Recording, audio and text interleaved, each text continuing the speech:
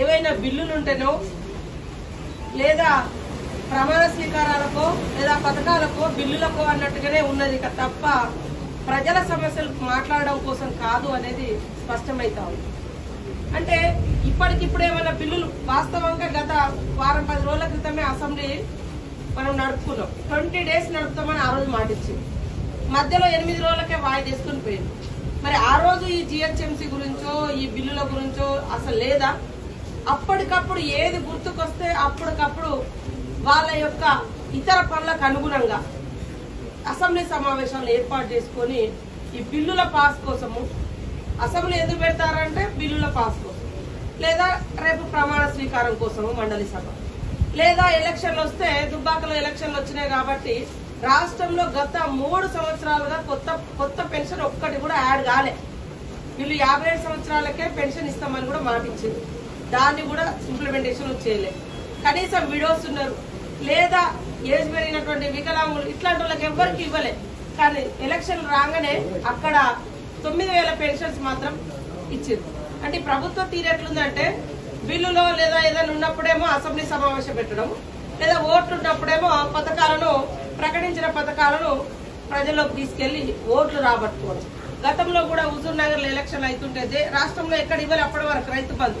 కానీ హుజూర్ నగర్లో మాత్రం ఓట్ల కోసం ఇచ్చింది ఇవాళ కూడా పెన్షన్ కూడా దుబ్బాకలో ఎలక్షన్ల కోసం మాత్రం ఏ అందరు ప్రజలు కాదా అందరు ఎదురు చూడట్లేదా అందరికి మీరు ఇచ్చిన హామీ కదా? ఈ రకంగా వీళ్ళ యొక్క విధానం. వాస్తవానికి గతంలో మనం అసెంబ్లీ సమావేశాలు కానీ అంతకుముందు ఆగస్టు పదిహేను నుంచి ఇరవై నాలుగు వరకు కానీ ఇప్పుడు కానీ పెద్ద ఎత్తున రాష్ట్రంలో వర్షాలు పడి పత్తులు వరి మొక్కజొన్న నష్టపోయిన రైతులంతా. కనీసం ఒక సమావేశ వేదికగా ఈ అసెంబ్లీ వేదికగా ముఖ్యమంత్రి గారు ఒక రోజు ఎక్స్టెన్షన్ చేసి ఒక రోజు పెట్టి రైతాంగానికి ఒక భరోసానిచ్చే మాట మాట్లాడకపోవడము నిజంగా అసలు ఏ ముఖ్యమంత్రి గారు ఎందుకు ఈ సమావేశాలు పెట్టడం అని అడుగుతాం రైతులను ఆదుకుంటామని ఒక మాట ఇవ్వలేనటువంటి పరిస్థితి వాళ్ళకి రిలీఫ్ ఇవ్వలేనటువంటి పరిస్థితి. ఈ రకమైనటువంటి సమావేశాలు వాళ్ళు డబ్బాలు కొట్టుకోవడం లేదా వాళ్ళు అనుకున్న బిల్లును పాస్ చేసుకోవడం లేదా ఎలక్షన్లు ఉన్నప్పుడు ఇచ్చినటువంటి హామీలు అన్ని పక్కన పెట్టడం ఓటు రాగానే ఆ- ఎలక్షన్ల వరకు అవి రిలీజ్ చేయడం. ఇది ఈరోజు ఈ ప్రభుత్వం అనుసరిస్తున్నటువంటి విధానం. ఇది కరెక్ట్ కాదు ఇది పద్ధతి కూడా కాదు అనేది ఈ ప్రభుత్వం గుర్తుపెట్టుకోవాలని ఈ సందర్భంగా తెలియజేస్తా ముఖ్యంగా మున్సిపల్ శాఖ మంత్రులు fifty percent reservation fifty percent reservation అని పదే పదే చెప్పింది అయ్యా గతంలో కూడా అనేక రిజర్వేషన్లు మహిళలు అనుభవించారు ఉన్నాయి అక్కడ. కానీ మీరు వచ్చిన తర్వాత ఫస్ట్ విడత మీ గవర్నమెంట్లో టీఆర్ఎస్ గవర్నమెంట్లో మహిళ అనే మంత్రే లేదు. మొన్నటి మొన్న ప్రతిపక్షాలు బయట మహిళా సంఘాలు పోరాడితేనే మీ మహిళలకు మా దగ్గర నుంచి ఒక మహిళను తీసుకున్నారు సరే ఇంకొక మహిళ ఇచ్చింది. ఇప్పటి వరకు మహిళా కమిషన్ లేదు. ఇవాళ ఫిఫ్టీ పర్సెంట్ మహిళలు కూడా రాజకీయాల్లోకి వచ్చినా కూడా స్థానిక ప్రజాప్రతినిధులు కూడా అక్కడక్కడ ఇబ్బందులు పడుతున్నారు అవమానాలు పడుతున్నారు అత్యాచారాలు ఇట్లాంటివన్నీ కూడా గురవుతున్నారు. సాధారణ మహిళల పరిస్థితి ఇంకా ఘోరంగా ఉంది. వాళ్ళు కనీసం ఎవరిని పోయి కలవాలో ఎవరికి చెప్పుకోవాలో తెలియదు. మహిళా కమిషన్ లేదు. దాన్ని వేయండి ఫస్ట్. అదే విధంగా ఈరోజు చూస్తే మరి ముఖ్యంగా హైదరాబాద్ సిటీ గురించి మేమేమన్నామంటే పర్యావరణం గురించి మాట్లాడేది. పర్యావరణము మీకు నచ్చినోళ్ళు మీరు మెచ్చినోళ్ళు మీకు నచ్చిన పనులకు మీరు తక్కువ పర్యావరణ అనుమతులు వస్తున్నాయి. మీకు నచ్చితే ఫ్లైఓవర్ కావాలనుకున్నప్పుడు లేదా ఏదైనా మీకు నచ్చిన కంపెనీకి ఇవ్వాలనుకున్నప్పుడు అక్కడ వందల చెట్లు ఉండని వెయ్యిల చెట్లు కొట్టేస్తున్నారు. కానీ పేదోడు గుడిసేసుకుందామన్నా లేదా ఒక గల్లీకి రోడ్ వేసుకుందామన్నా ఒక చెట్టు అడ్డం వస్తే తీసేయడానికి ఏళ్ళ తరబడి కూర్చుంటున్నారు. మేము అదే అడిగినాం. అయ్యా పర్యావరణం అంటే పర్యావరణం లాగానే కాపాడండి. పెద్దోళ్ళకు ఒక రకంగా పేదోళ్ళకు ఒక రకంగా మా నచ్చిన పరిశ్రమలకు ఒక రకంగా ఈ రకంగా తీయడం ఇది ఎంతవరకు కరెక్ట్? పర్యావరణం అంటున్నారు. పొల్యూషన్ కాపా పొల్యూషన్ నుంచి పట్టణాన్ని విముక్తి చేయాలనుకుంటున్నారు. కానీ చుట్టూ ఫార్మాసిటీస్ ఫార్మా కంపెనీలకు విచ్చలవిడిగా పర్మిషన్స్ ఇచ్చేస్తున్నారు. పచ్చటి పొలాలన్నీ కూడా ఫార్మా కంపెనీలకు గుప్పిట్లో పోతున్నాయి. ఇవాళ వాళ్ళు మాట్లాడితే మేము ఉద్యోగాలు ఇస్తున్నాం ఉద్యోగాలు రావద్దా అంటారు. అరే ఉద్యోగాలు ఒక్కొక్క కుటుంబము ఎకరంలో పచ్చడి పంట తీసి దేశానికి అన్నం పెడుతుంది.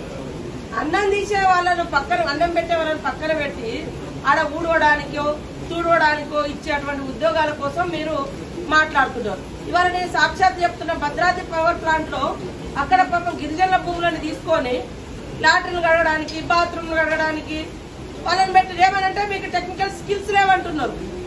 అంటే రేపు కంపెనీలు వచ్చినాక కూడా మన మన ఇప్పుడున్న కంపెనీలలో ఎంతమంది లోకల్ వాళ్ళు తీయడం బయట?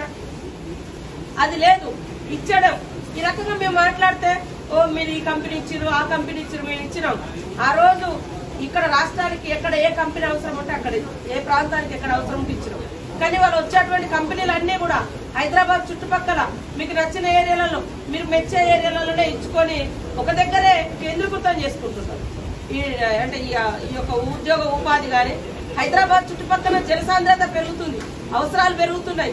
మరి అట్లాంటప్పుడు చెట్లు పెంచాలి పొల్యూషన్ తగ్గించాలి అవన్నీ చేయాలి. అది మాట్లాడితే మీరు మీ తా- మీ వెనకట మీరు ఎలుకలు తిని తీర్థయాత్ర బయలుదేరిరట అసలు ఏం మాట్లాడుతున్నారో కూడా అర్థం కానటువంటి పరిస్థితి. కేటీఆర్ గారు అలా మాట్లాడడం కరెక్ట్ కాదు. ఆ రోజు ఉన్నటువంటి జనాభా ఆ రోజు వచ్చినటువంటి కంపెనీలకు ఆ రోజు ఉన్నటువంటి పర్యావరణాన్ని ఖచ్చితంగా కాంగ్రెస్ పార్టీ కాపాడింది. ఎక్కడ ఫ్యాక్టరీలు పెట్టినా ఎక్కడ పరిశ్రమ ఈ రోజు అన్ని చెట్లు అంటే మీరు వచ్చినాకనే పెట్టిరా హైదరాబాద్ ఇంకా అంతకుముందు లేవా? కంప నిధులు వేల కోట్ల రూపాయలు సెంట్రల్ గవర్నమెంట్ నుంచి చెట్ల పెంపకాల కోసం అడవుల పెంపకం కోసం వస్తూ ఉన్నాయి. ఆ నిధులన్నీ కూడా ఏమవుతుందో కూడా తెలియనటువంటి పరిస్థితి. కాబట్టి ఈరోజు హైదరాబాద్ గురించి చాలా గొప్పగా మాట్లాడారు. విశ్వనగరం అన్నారు. విశ్వనగరం సంతోషం. వాన పడితే చినుకు పడితే చిత్తడవుతుంది వాన పడితే వెనుక ఉన్న వాహనం రోడ్డు మీద ముందుకు కదలేని పరిస్థితుంది. మోరీలు నోర్లు తెచ్చుకొని ఉన్నాయి. మొన్ననే ముగ్గురు నలుగురు చనిపోయారు. పాపం వాళ్ళ ఒక అబ్బాయి తల్లి కూడా మీ మీద సాక్షాత్తు మున్సిపల్ శాఖ మాత్రమే మీద కూడా కేసు పెట్టడం జరిగింది. కనీసం డ్రైనేజ్ సిస్టమ్ చక్కగా పడలే నాలాలు చక్కగా లేవు రోడ్ల పరిస్థితి ఎక్కడక్కడే ఉన్నది గంటల కొద్ది వాహనాల రద్దీ అంటే వర్షాలు పడంగా ఎక్కడెక్కడ ఆగుతున్నారు మీరు డెబ్బై రెండు వేల కోట్లు ఖర్చు పెట్టమని చెప్తున్నారు. ఎన్ని వేల కోట్లు ఖర్చు పెట్టమనేది కాదు. ఎంత మేరకు అభివృద్ధి జరిగింది ఎన్ని వేల మందికి లబ్ధి జరిగింది ఎంత వెడల్పుతో అంటే ఎంత విస్తీర్ణంలో రోడ్లు పోయినాయి ఎంత పొడవుతో పోయినాయి అది చూడండి. అది లేకుండా మేము ఇన్ని వేల కోట్లు ఇన్ని వేల కోట్లు.